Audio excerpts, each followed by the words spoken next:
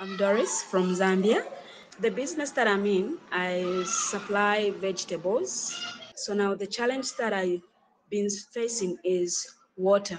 With uh, changes of weathers that we are having in Zambia, it's difficult to grow vegetables. The question that I have for you to help is for those that are dealing with uh, with, with growing of, of, of vegetables, how are you dealing with the challenges that we are facing with climate change?